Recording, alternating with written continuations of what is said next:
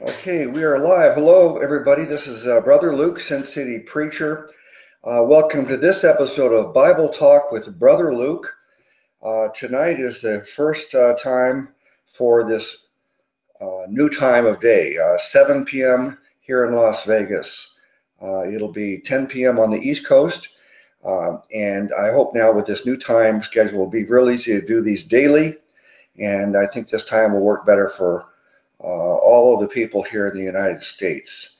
So um, I, I, did. The, I'm going to continue with the Bible study tonight on the Book of John. Uh, if you did not see uh, the first episode on the Book of John, uh, I, I, covered the first five verses, and so please go back and watch that. That is, to me, the first five verses are just so so important to understand. So I hope you will go back and watch that. We're going to pick up with uh, John chapter 1, verse 6 now and go as far as we can in an hour. But first of all, let me say hi to Brother Eric and let him say hi to everybody. Hello, everybody. It's me again, Dehallmo. D E H A L L M O. Okay, and that's my channel name as well. And uh so far, nobody's uh subbed me, Brother Luke. okay, back to you. No, that's that's very distressing. Uh, I I sure hope everybody who watches these, please subscribe to Brother Eric's channel, and uh, he's been uh, a great encouragement to me and great help participating in these uh, broadcasts. So please subscribe to his channel if you haven't already. Um, all right, I'll read this uh, in the KJV first because I'm what Brother Joe Byron calls a KJV firstist and then we may look at it also in the amplified version too if I find it may be helpful. Okay, with verse 6 it says, There was a man sent from God whose name was John. The same came for a witness to bear witness of the light, that all men through him might believe. He was not that light, but was sent to bear witness of that light. That was the true light which lighteth every man that cometh into the world. He was in the world, and the world was made by him, and the world knew him not. He came unto his own, and his own received him not. But as many as received him, to them gave he the power to become the sons of God, even to them that believe on his name, which were born not of blood, nor of the will of the flesh, nor of the will of man, but of God. Verse 14 says, And the Word was made flesh and dwelt among us, and we beheld his glory, the glory as of the only begotten of the Father, full of grace and truth. All right, I think that's a good place to stop. Verse 6 through verse 14. Hopefully, we can go through all that very carefully now. Starting, I'll start with verse 6 and uh, read it one verse at a time and uh, ask Brother Eric if you'll respond. It says in verse 6 There was a man sent from God whose name was John. Okay, brother, um, who is this John that was sent from God? Uh, that's the voice of one crying in the wilderness. Uh, according to the prophet Isaiah, I believe it was. Correct me if I'm wrong.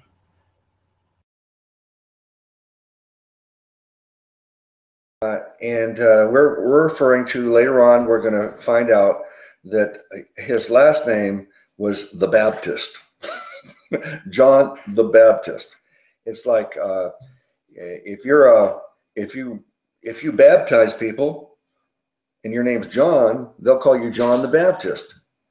If if uh, uh, you're a carpenter and your your your first name is Eric, they'll say Eric the carpenter. In fact, that's very very common for people to be uh, named. Their last name was their profession: Smith, carpenter, farmer. Um, another thing that was uh, common for last names was was to be say J- John uh, Bar Jonah, son of Jonah.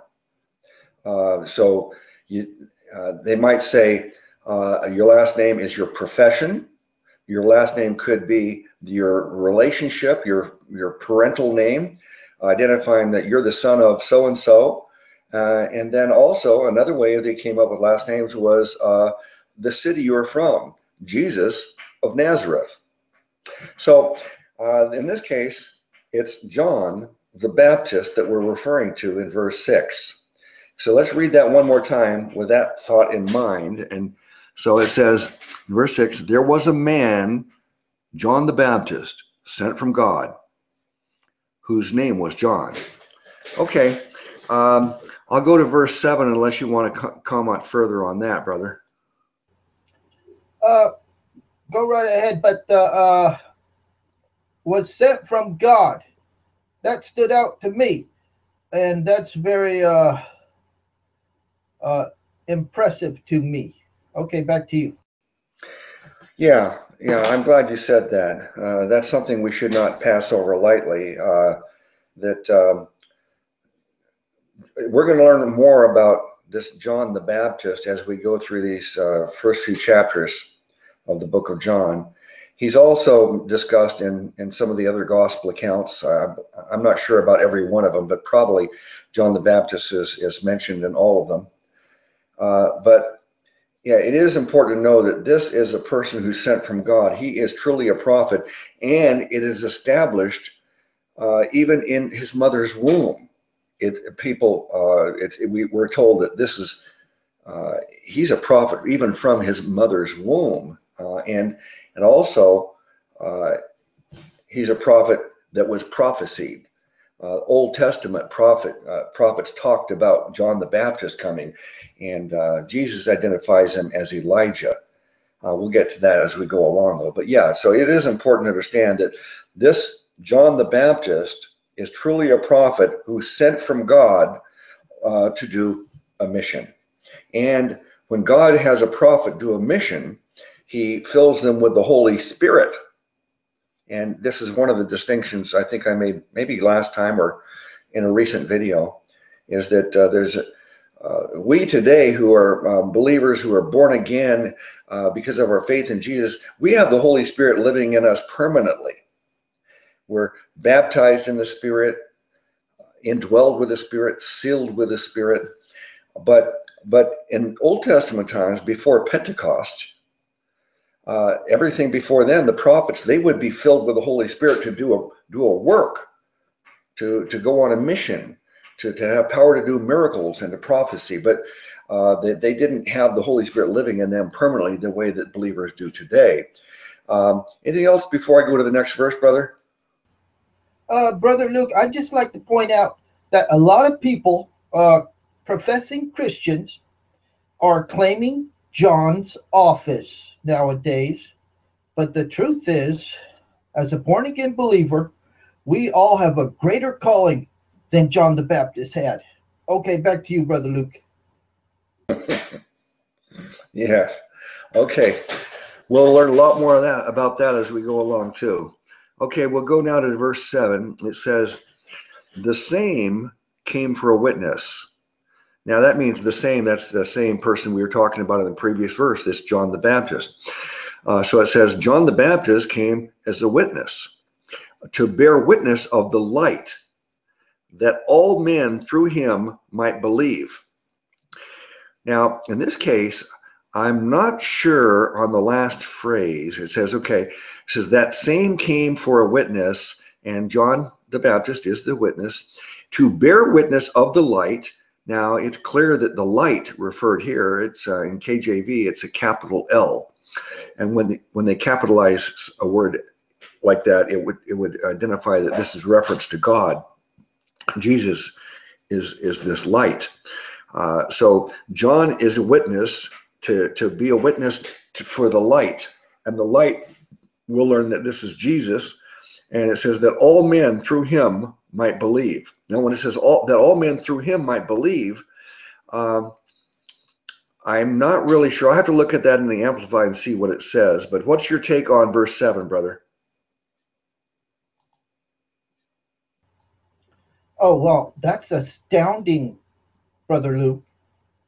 What it appears to be saying to me is that John the Baptist came to be a witness of the light so that all men will believe? Can you imagine that? That is a uh, universalist dream. Uh, uh the universalist being uh, those who believe that everybody gets saved. Okay, we pray that that will would would would possibly happen, but uh, unfortunately, we know that's not the case. Okay, back to you, brother Luke. Yeah, yeah. When it says to me, the word "all," uh, it it it, it uh, we're not. I'm not going to twist this like a uh, like a Calvinist would and say all doesn't really mean all. I think in this verse, all really does mean all. That all men might believe, every single person. But when it says might believe, that means that it would be possible for all of them to believe. Might believe means God's made it possible for you. You might, you might not, but at least He's made it possible. So this verse is not telling us that all people will believe, like in uh, universalism. It's saying that uh, all men can believe. It's possible. Uh, all right, before we go on, anything to, I want to read it in Amplified here too. It says, uh, verse 7 This man came as a witness to testify about the light, so that all men might believe in Christ, the light, through him. Okay? Uh, so that doesn't elaborate uh, the way that I just did, but uh, it, I think it's made it very clear. But I think it is important to understand that the word all doesn't mean that no now we have to everybody's going to believe no it just means that all people can believe it, it's possible. They they might believe it's made possible. All right brother you want to go i want to go to the next verse but what anything else to add to that? Uh, just one more thing brother luke. The through him the him would be identifying jesus? Would it not uh it appears that it, it could be uh, identifying John the Baptist. What are your thoughts on that? That that was my original uh, confusion, and I thought maybe the amplified might clarify it. But but um, I believe it says when it says through him, uh, I think that's referencing through John the Baptist, through his ministry. He's see he is the first one to identify him. Uh, and when we learn more about John the Baptist as we go along, we're going to understand that he is the one that is to introduce Jesus to the world. And and he not only introduced the people at that particular time and that particular geographical location, in not, not in that small sense, but he's introduced everybody to Jesus because in the scriptures, he's the first one to point to Jesus and say, He's the one. That's the Lamb of God who takes away the sin of the world. He pointed right at him. So, uh, you know, I learned about Jesus through John the Baptist. He's the first one to tell me who, who he was. Um, anything else you want to add to that? Very well put, Brother Luke. Okay. All right, thank you. Then uh, I'll go on now to the next verse. Um, I'm going to go have to go back to KJV here real quick. Here, uh, King James. Okay, verse uh, verse eight says, "He was not that light, but was sent to bear witness of that light." So he is referencing John the Baptist again, saying John the Baptist is not the light but John the Baptist was sent to bear witness, to tell us who that light is and point him out. That's that's what we were talking about earlier. Uh, John the Baptist is the one prophesied in the Old Testament, the, the one that would be. We're, we're I think we're going to see the word coming up here some point pretty soon called he was the forerunner. He was the one that would come before Jesus and introduce him. Uh, verse 8, what's your comment on that? Sounds good, Brother Luke. Let's carry on. All right, now we got verse uh, 9. That was the true light which lighteth every man that cometh into the world. Uh, this is referring to Jesus. Jesus is the true light. Now, the light, as I said earlier, uh, light is the one that um, illuminates. Jesus called himself the truth. He says, I am the way, the truth, and the life. You know, I saw a plaque on someone's wall years ago, and uh, I didn't want to correct the person and kind of crush them at them. But but someone had misconstrued a verse, and I think it's John 14, 6, when Jesus said, I am the way, the truth, and the life. Life. Life everlasting, life eternal. I am the way, the truth, and the life. No man cometh unto the Father but by me. But on their plaque, they had it written, um, uh, I am the way, the truth, and the light. Now, it is true that he's the light. It says it right here. But that's not the way it's written in John 14, 6. Uh, so Jesus is the life. He is the life giver. He's the one that brought life into the world. He's the one that created everything, as we read in the first verses of the first this first chapter. Uh, and so he not only gave us life, but he offers us life everlasting. He offers us, after death, a resurrection to life everlasting. So he is life, but he's also the light. And the light to me is, I think I gave this example last time, is that a light illuminates and brings truth, brings knowledge and understanding. It's like I made the comparison of, you know, that saying, hey, I've seen the light uh, you get a revelation. All of a sudden, you get it. I saw the light. And so that's what I think it refers to Jesus in this case. Jesus is that light. That so when we finally understand who he is and why we need him and what he's promised for us, the light, it's like seeing the light. Um, there's I think there's gospel song something like I've seen the lights I've seen the light I don't know I don't want to try to sing and spoil everybody's night but Okay, brother, what's your comment on that? Wow, very well put again, brother Luke. And it sounds to me like that doctrine uh, completely adheres to scriptures. Okay, back to you. All right. Uh, now, uh, um, I want to look at that verse uh, 8 in the Amplified. Uh, I think it's pretty clear, but why not look at the Amplified and see if it amplifies it even, even further for us? Uh, verse 8 in the Amplified says, John was not the light, but came to testify about the light. Okay, that's pretty straightforward. It's not that hard to understand that verse. Um, okay, back to the KJV, we'll go to verse 9. That was the true light which lighteth every man that cometh into the world. Uh, in other words, um, when Jesus he illuminates, you know, his, his he's he's giving light to everybody, but not everybody's going to accept the light, accept the truth, accept the the revelation. Because we're going to find later that Jesus says, when he's lifted up on the cross, in that manner, he will draw all men to himself. So he's drawing everybody. He's shining his light on everybody. There's no excuse.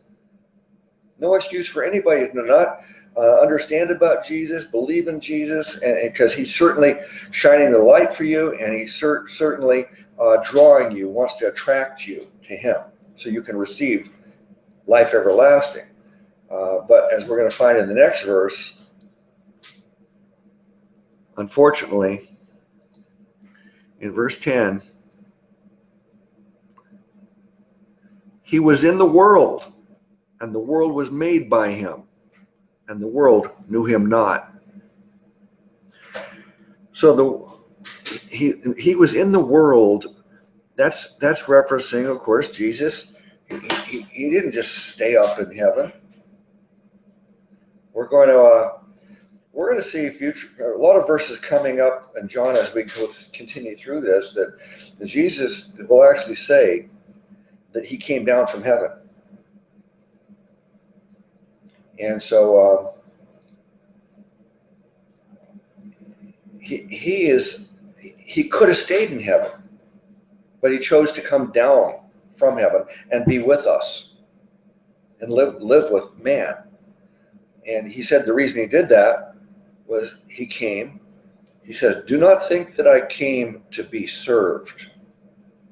That's not why he came, so we could all serve him and and he could be the master and the rabbi. I mean, okay, yeah, the, the disciples and the apostles they tried to serve him and they and and uh, um, follow him, but he's that's not really the reason he came. He said, "Do not think I came to be served."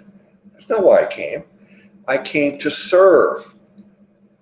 Now, he served in a lot of ways. He ter- served as an example. He served as a teacher. He, he served in healing and feeding people. He served in so many ways. But the biggest service he gave us was his life.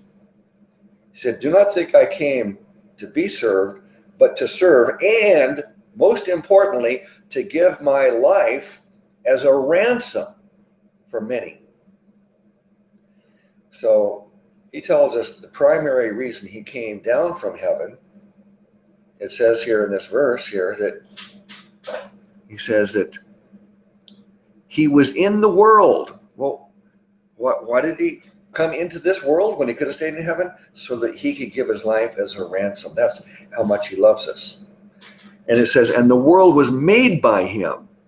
It said earlier, when we go back to the first few verses, is in verse 3 it says all things were made by him and without him was not anything made that was made uh, that's something i neglected to cover last time I, I thought of it later that i think it's important to go back and mention that not only is it saying here that in the beginning was the Word, and the Word was with God, and the Word was God.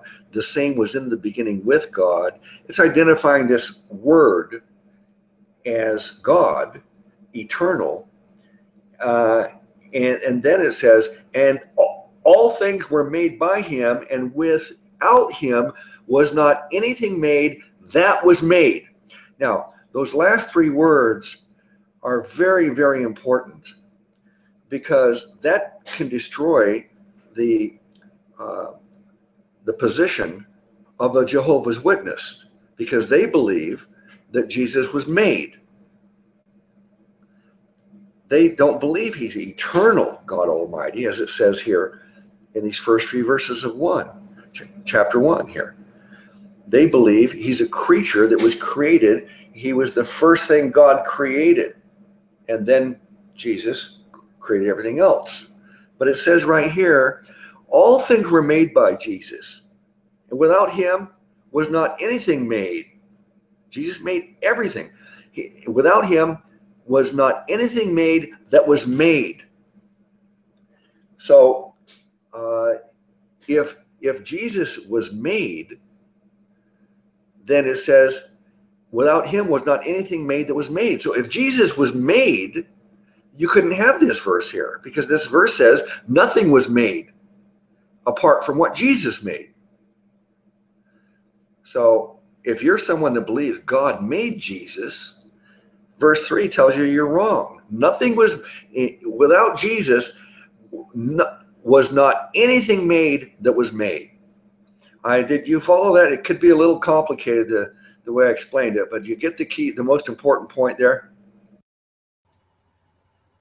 Oh, absolutely, brother Luke, and uh, uh, that's a big problem we have nowadays with those uh, false gospel preaching institutions like the Jehovah's Witnesses and the Mormons and the Catholics and so on and so forth.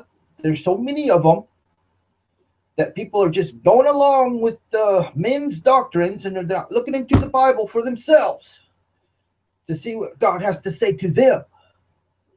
And that is a major problem that has to be uh, resolved. Okay, back to you, Brother Luke. Okay, uh, let, let me move forward again to where I was earlier. Uh, it said, uh, He was in the world, and the world was made by Him. So Jesus made the world. In fact, it said earlier, nothing was ever made that He didn't make. So Jesus made time, space, matter, the universe, dimensions, everything that was made, Jesus made it. And it says, and the world knew him not. Uh, I, when I, it says, and the world knew him not, uh, I think verse 11 should continue right on there. It says, he came unto his own, and his own received him not. Uh, when it says came unto his own, it's a reference to his um, the uh, Israelites. You see, it was prophesied that uh, there would be a a Messiah, a Savior, a Christ come in the future. And God promised this to Abraham. And he said, This, the whole world will be blessed through his seed. And it says seed singular, not plural. It doesn't say through his seeds. His seeds are Isaac, Jacob, Ju, uh, uh, the 12 uh, children of, of uh, Isaac, Israel, uh, and then all their descendants. That, that Those are the seeds of Abraham, the seeds. But the seed singular is this one significant seed that was going to come out of uh, Abraham as a descendant. One person who would be a blessing to the whole world. And that's uh, as we study more of prophecies, we find out he was talking about this Messiah, Savior, the Christ. And so when it says that uh, he, he came to his own, but his own received him not, this is a, a statement that, he, yeah, he was born in, into a Jewish family, as, as the prophecy said he would. His descendant, he's a direct descendant from Abraham, Isaac, Jacob, Judah, Jesse, David, and so on. And all these all these uh, people were listed in prophecies about the Messiah. He'd be in that family line, and all those prophecies were fulfilled. So he came through the family line that was prophesied, and he he he was in that community of people, which were his people, the Jewish people, the Israelites, and, and yet they did not receive him as a whole. The first believers in Jesus, of course, were from were part of his people, but it was a tiny little percentage rather than all the whole nation of people. It was basically it started off with eleven people. His own mother and brothers weren't, I think, even were even confused uh, about who he was until he he was finally revealed completely who he was. Uh, but you had apostles, you had some disciples, and then after his death, burial, and resurrection, they they were left to start the church, and and the the first believers were all came from that original community of Israelites, the Jewish people, but the vast majority of Jewish people did not receive him, as it says in this verse here. It says says uh, he uh, he was in the world, and the world was made by him, and the world knew him not. He came unto his own, and his own received him not. Uh,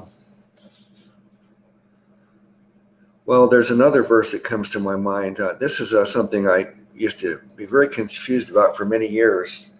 There's a verse that says, The first will be last, and the last will be first.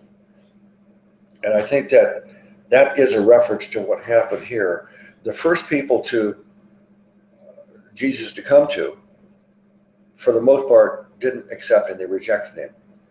Then the last people, or the next people, the Gentiles, they accepted him. But the Jewish people will come to accept him later on, or at least a remnant, a remnant of them. Even today, there are some people, some people who are from this Jewish family line who have become believers. So uh, there are some. I'm gonna, I'm gonna look at that in the Amplify, but first, give me your reaction to those verses. Oh, wow, Brother Luke. Uh, they're coming to him now. I'll tell you what. They're coming in droves. God is making a highway for the remnant of his people. And the Jews are starting to realize uh, that uh, Jesus is their Messiah. Uh, uh of course, uh, okay, back to you, Brother Luke.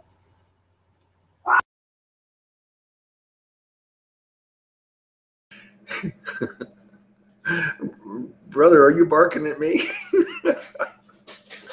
okay. Uh, all right, I'll read it in the Amplified. Uh, I'm going to start with verse 10. Now I'm going to start with verse 9. There it was, the true light, the genuine, perfect, steadfast light, which coming into the world enlightens everyone. He, Christ, was in the world, and through the world, and though the world was made through him, the world did not recognize him. He came to that which was his own, that which belonged to him, his world, his creation, his possession. And those who were his own people, the Jewish nation, did not receive and welcome him. I think that was pretty well done by the Amplified. What do you say? Uh, yes, Brother Luke, I think you're absolutely right. Okay, let's go on now. Uh, go back to the KJV and read some more here. KJV.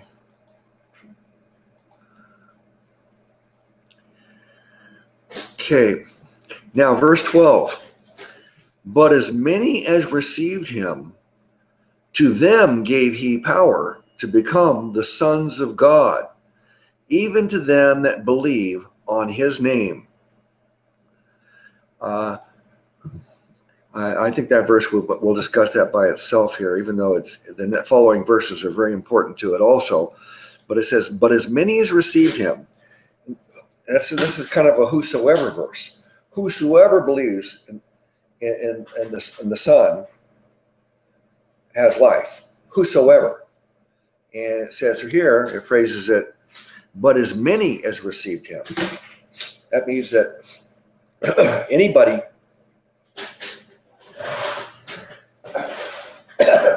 excuse me, anyone who would receive him, accept him, believe in him. Uh, it, there's no exceptions. It says, but as many as received him, anybody who would receive him, receive him and his gift of salvation, to them gave he power to become the sons of God. Uh, to them gave he power to become the sons of God. Now, I know we've talked about this before, but uh, when we believe in Jesus, we do become a son of God. But it's a different sense, brother. Can you uh, differentiate between you as a son of God and Jesus Christ as, as the only begotten son of God? Well, brother, look, the way I understand it is uh, we are adopted sons we're raised from the dead and then adopted by God into the family of God through Jesus Christ. Okay, back to you. Yeah, yeah, that's very, very important. We're not sons uh, from our first birth. Our first birth, uh, we are not even, we can't even be called a child of God. I mean, this is a very common, very common. Uh, I guess I'll call it a heresy because it, it disagrees with Scripture. Now, not to be confused with a damnable heresy.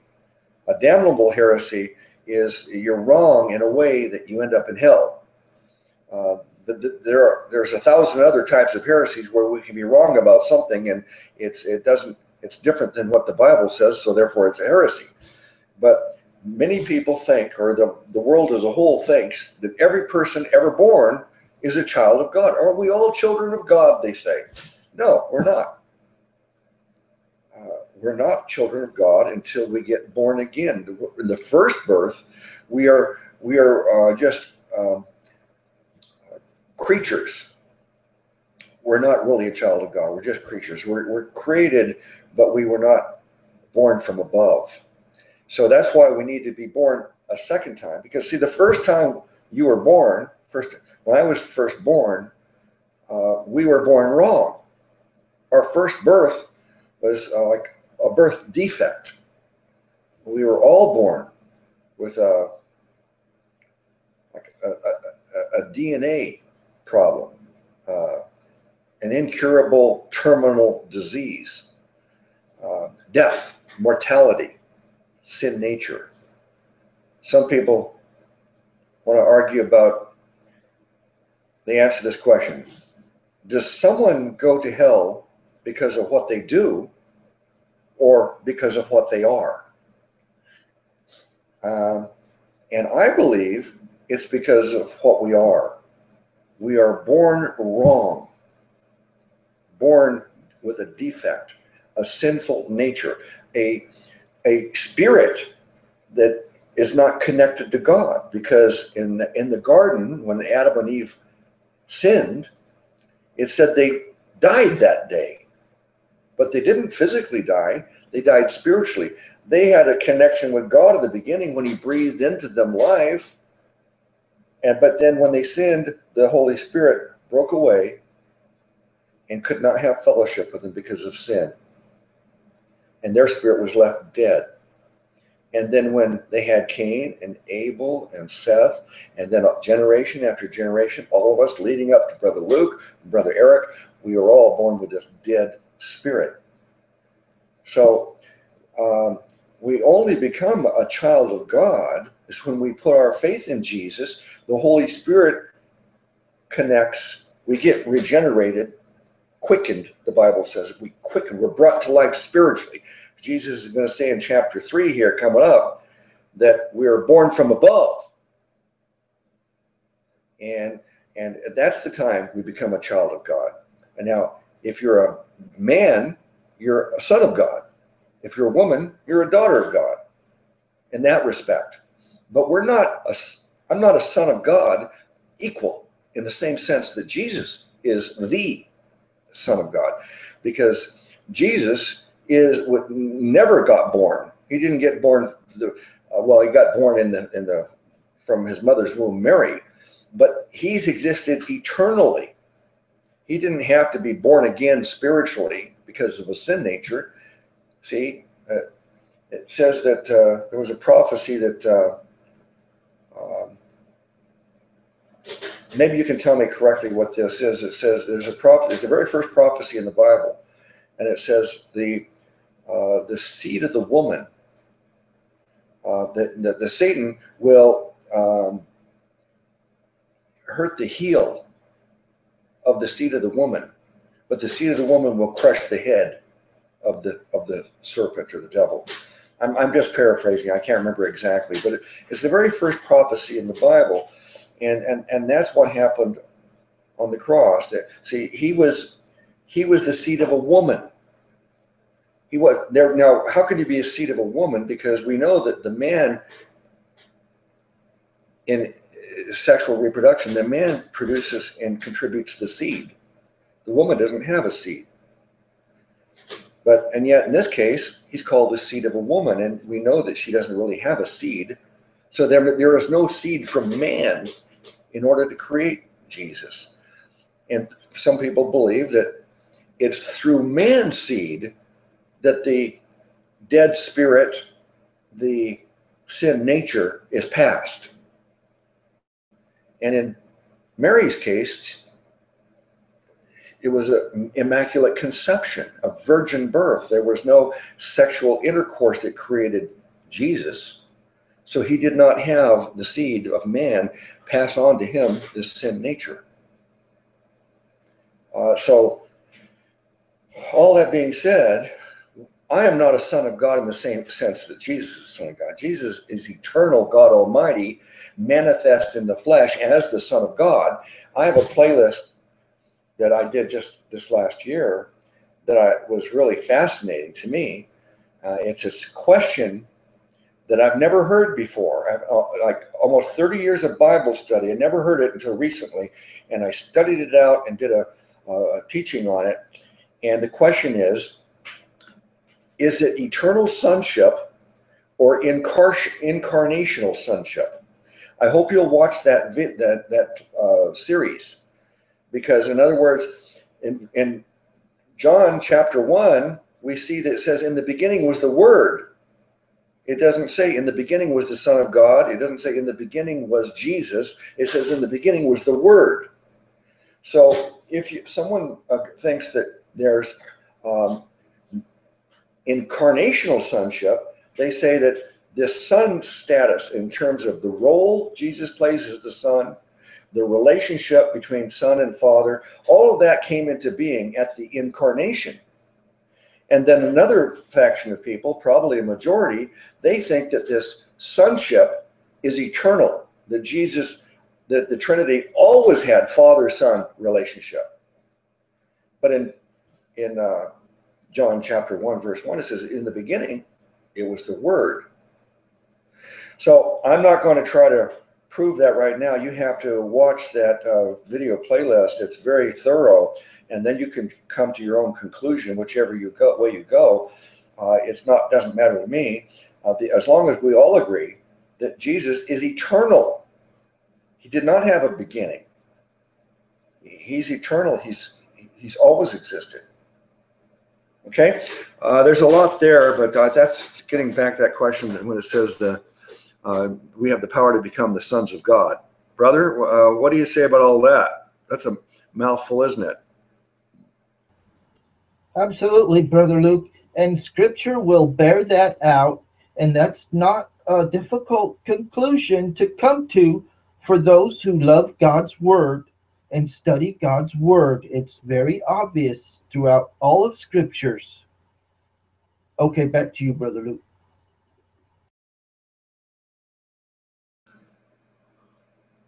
Okay, I'm to I'm to look at those same verses now in the Amplified and see how they phrase it. It might be interesting.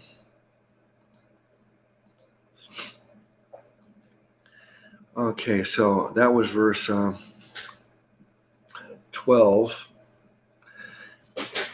Uh, but to but to as many as did receive and welcome him, he gave the right, the authority, the privilege to become children of God.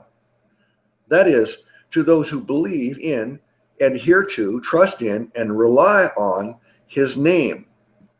Okay, that's something I, forgot to cover at the very end of that verse, which to me is really, really important. But I think that the way they phrase this is, is just beautifully stated. It says that, I'll read it again slowly. Uh, because the, the, the, the, words that are being used here in this translation um, are critically important because a lot of people want to argue that believing uh, doesn't, they translate the word believe as surrender, pick up your cross, stop your sinning, become a disciple, follow, serve. But that's not what believing is. Believing is to trust, to rely on. That those those are words that relate to believing.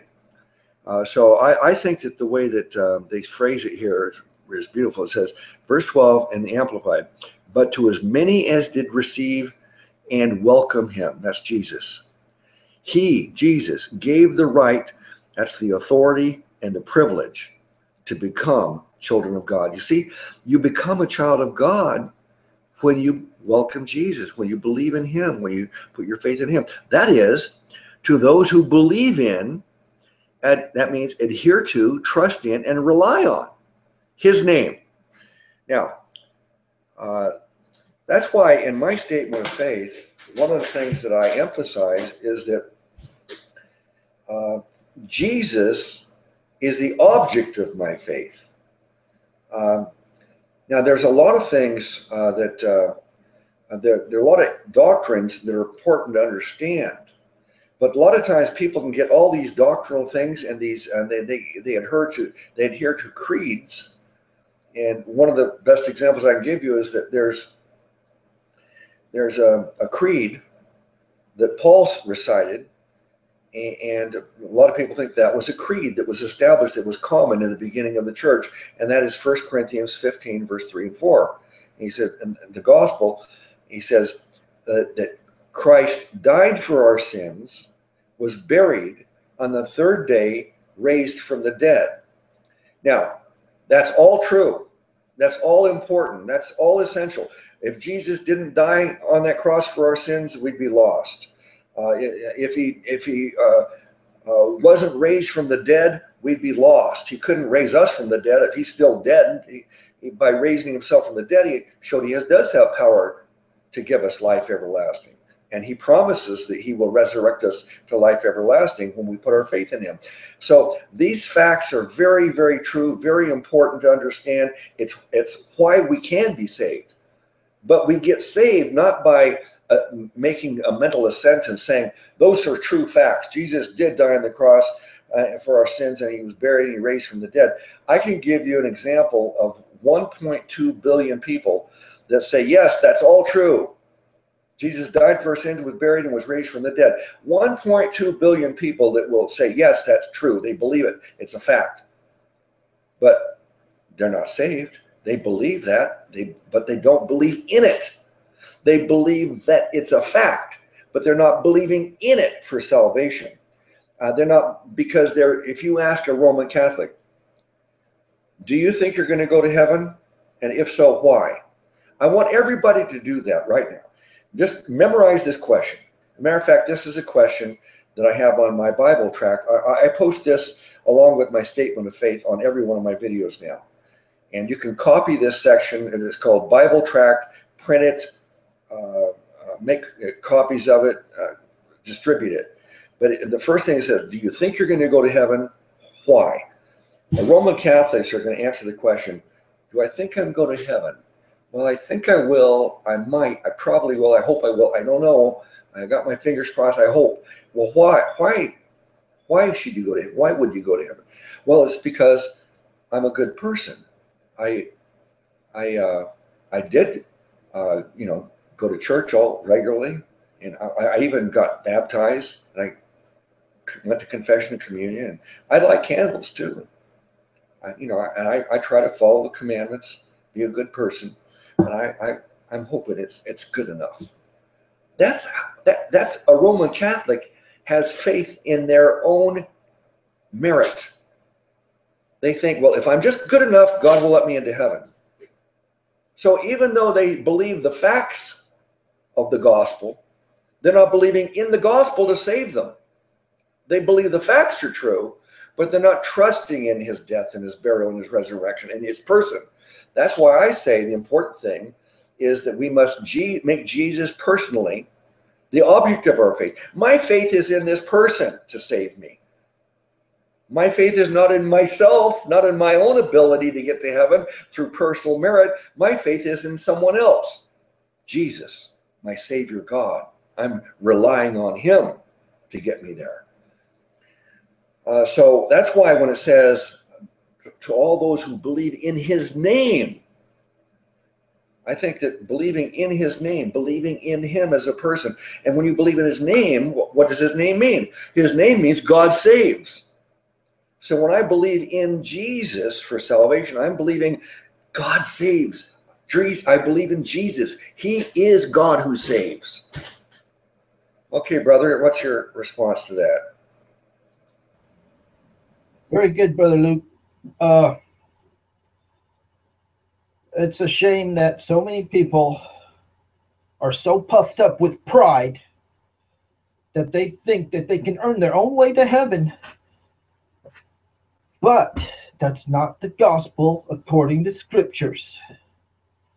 The gospel according to scriptures is what we've been talking about for the last 25 minutes. Okay, back to you, Brother Luke.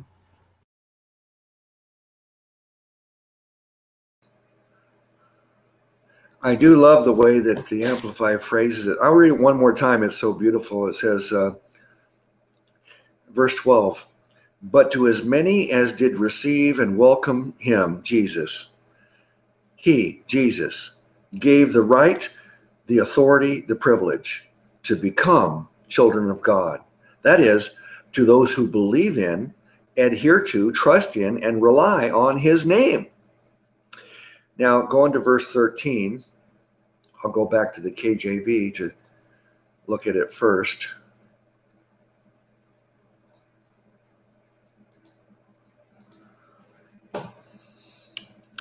Verse 13 says, uh, even to them that believe on his name, which were born not of blood, nor of the will of the flesh, nor of the will of man, but of God. So that's what I was talking about earlier. I said it says when when to become a child of God, we have to become one. We're not born one naturally. We're not naturally. Every person who comes out of a mother's womb is not naturally a child of God. We need to become a child of God as it said in verse 12, we become a child of God because of our faith in the name of Jesus. It says, which were it says, which were born not of blood. In other words, this is not a physical birth we're talking about, nor of the will of the flesh, nor of the will of man. That's through man's efforts, but of God. Okay, verse 13, brother. Absolutely, Brother Luke. We all must be born of God if we want to enter the kingdom of heaven. And uh, for crying out loud, please, listener and viewer, repent of your dead works and believe the gospel. Okay, back to you, Brother Luke. Okay. Uh, All right, uh, now verse um, 14. It says, And the Word was made flesh and dwelt among us, and we beheld his glory, the glory as of the only begotten of the Father, full of grace and truth. Uh, now, when you read verse, a lot of times um, when we want to teach people about the deity of Christ, we go to John chapter 1, and when we look at verses uh, 1 through uh, 1 through uh, 1 through 3, 1, 2, 3, and then we jump forward to 14. Uh, verses 4 through 13, it's very common just to jump over those now, you, I think everybody can understand how beautiful and important it is to understand all of it. But if we read verses 1, 2, 3, we can understand why verse 14 could very well uh, have uh, come as the fourth verse. So um, let me read it in that way.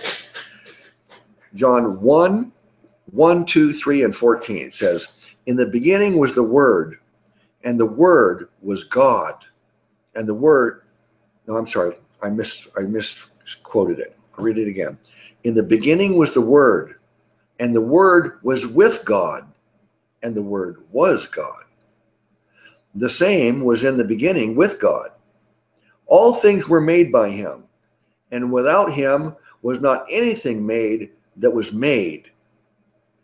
And the Word was made flesh and dwelt among us, and we beheld his glory the glory as of the only begotten of the Father, full of grace and truth. Uh, so, uh, you see, when we when we read the first few verses and it doesn't say Jesus and it doesn't say the Son of God anywhere, um, a person doesn't know at that point who it's necessarily referring to.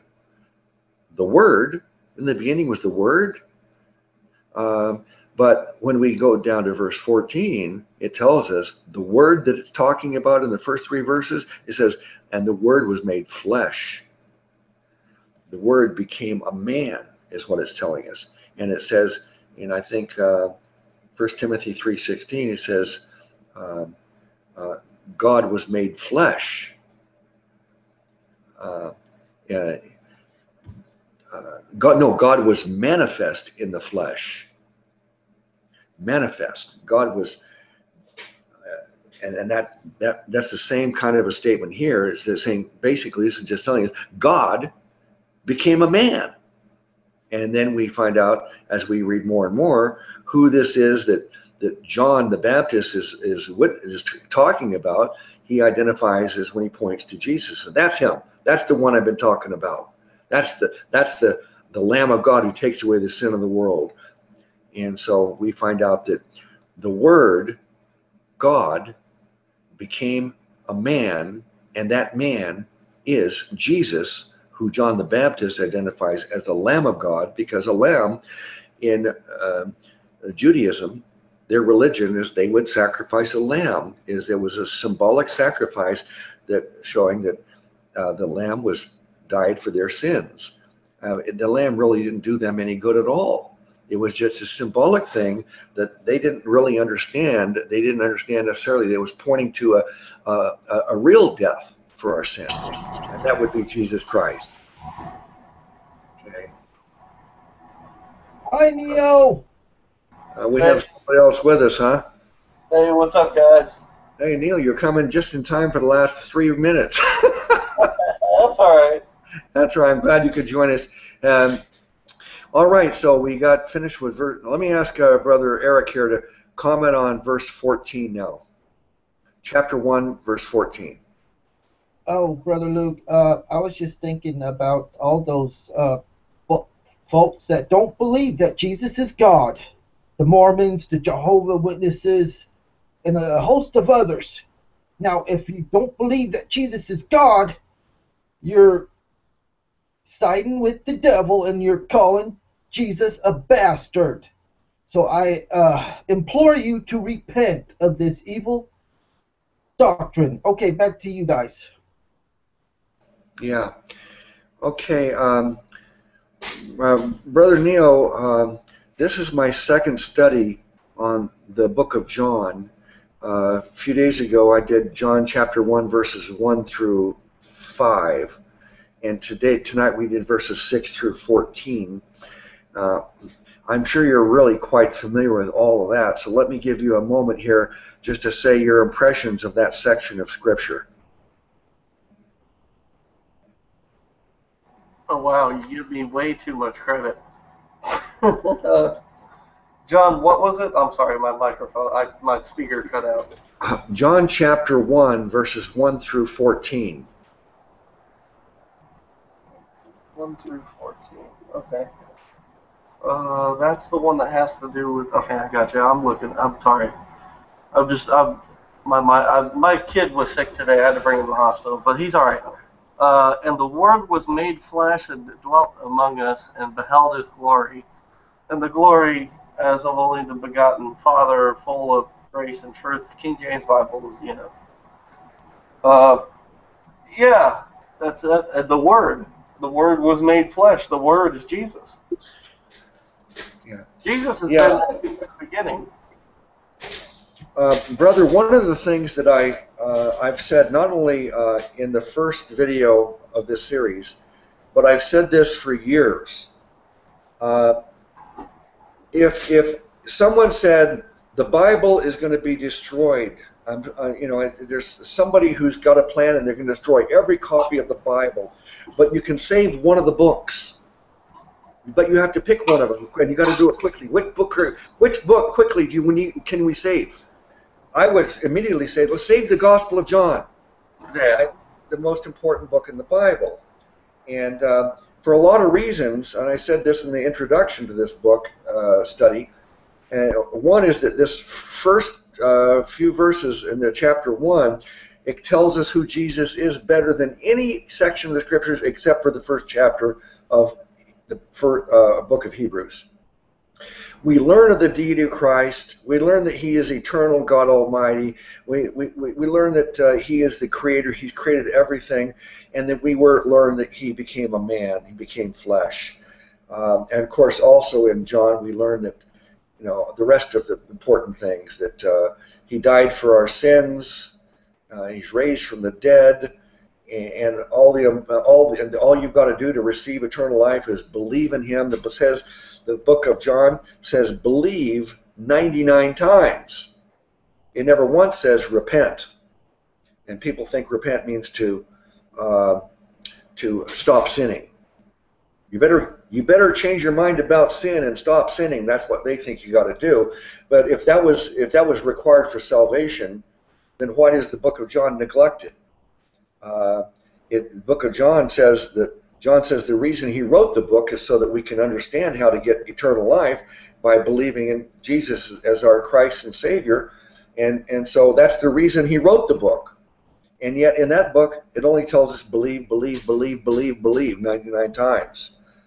So uh, that's the importance. Uh, uh, my opinion is that anybody who is not a believer and, and who was lear- wants to learn about biblical Christianity, the place you start, and even if you become a believer, the first place you start in studying the scriptures is read the Gospel of John over and over again. I suggest you read it maybe 20 times before you even try to read anything else in the Bible. Read the Gospel of John 20 times, and then and then maybe you're ready to go look at the rest of it. Okay, uh, Brother Neil, uh, what's your comments on all that? Uh, nothing much. Uh, carry on. Uh, other than that, John knew a lot, and I think uh, I typed in the side chat. Isn't John closer to Jesus than most of the other people, like the, the disciples and apostles? And he's like closer uh, re- uh, relation-wise to Jesus than.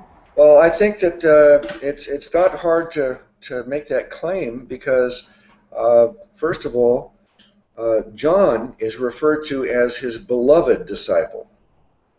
So Jesus differentiates between all of them and John. John is distinct in that way. He's the one that has the title as the, his beloved. And John is the only one that that did not did not um, um, desert him. John stayed there through, through through the trial and through the crucifixion. John was there. None of the apostles really there. They're all hiding out in fear for their life. But John was was brave. He, you know, he he he would, he knew just the same thing as everybody else that if they kill Jesus, maybe they're going to kill his disciples next. But he was right there at the cross. And John is the one that G, uh, Jesus said to Peter, uh, Peter, you'll, someday you're going to be taken away in chains and you're going to uh, die this martyr's death. And Peter said, well, what about that apostle over there? Referring to John. And uh, uh, Jesus says, well, what? It's none of your business what happens to him if he if he lives.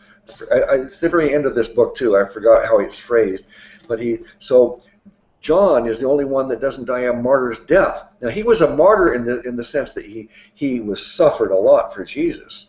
He was imprisoned on the Isle of Patmos. I don't know for how long, but probably for years.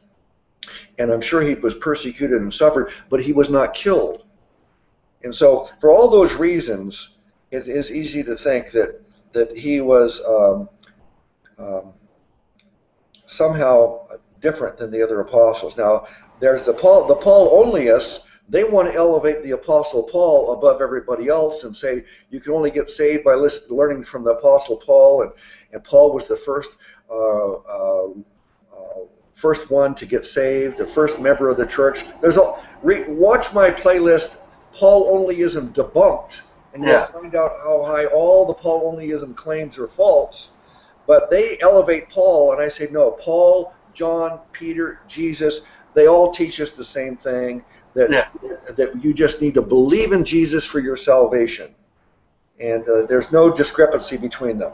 Yeah, don't get me wrong. Uh, my father named my middle name Paul, so therefore I carried it down to my son, who also has the middle name Paul. But we're not Paul only, as you know what I'm saying. Actually, I, Saint Tommy's on here too sometimes. He's a nice guy. He's not a Paul onlyist. He says, you know what I'm saying. I, I, he agrees with more stuff than just Paul. But Paul has has a strong standpoint to certain people, but that doesn't mean you know that that's just the only one that they agree with most of the time. You can tell when you're talking about one of you, those people that you're talking about when when they're they're Paul only. They just disagree with all other. It's kind of like talking to somebody that believes in the Gnostic Bibles almost, saying that the Book of Thomas is better than any of the other Bible, any of the scriptures. And I'm like, no. But anyway, sorry, I'm rambling. I was just letting you know how I see it. Yeah. Well, that's uh, uh, that's a, a subject that I could spend 10 hours talking about. I've done it already on a playlist. So if anybody wants to understand why uh, the people who say uh, Paul is our apostle, Paul's the only one that has the message for salvation, only focus on Paul's writings, Romans through Philemon. I think if you hear people saying stuff like that, I hope you go watch my playlist. Paul onlyism debunked because all their claims are false. Hey, brother, you're cutting out a little bit. Uh, okay. Uh, all right. Well, that's okay. Maybe it doesn't need to be said anymore. Uh, but uh, yeah, that's something else you can go look into my other playlist. But for now, uh, we'll pick up next time. Uh, John chapter one verse fifteen. I'll let uh, Brother Eric say any final remarks here, and then we'll, we'll end the. I'm trying to keep these broadcasts to one hour from nine to ten Pacific time. I, I'm sorry, from 7 to 8 Pacific time, and that would be 9 to 10 uh, Eastern time. And that way I'll try to do them five, six, seven days a week, but limit them to an hour. So, Brother Eric, what's your final words? Thank you, Brother Luke. And uh, how is my volume uh, sounding? Okay on this end? Yeah, mine. Uh, you sound great. Yeah. Okay, uh, absolutely. Everything you and Neil just spoke of is right on the money, and uh, I guess we can look the other way with these Paul onlyists for now, as long as they don't infringe on the gospel. What do you say? Yeah, yeah. Well, I, I say that they're saved, uh, and I love them, uh, but I don't like them trampling on Jesus, John, and Peter and saying that we, we can't get saved from anything they said. That's where I really have a, a real serious issue. They say you can't get saved from anything Jesus taught, or John, or Peter. So uh, they say you can only get saved by what Paul taught. All right, uh, that'll be it for tonight. Uh, join me every night uh, for an hour, uh, 7 p.m. Pacific time. I'll end the live broadcast, but I'd like to talk to Brother Neil a little longer since he joined us late, if, that, if you're available. Okay, bless you all in the name of our great Savior God. His name is Jesus Christ.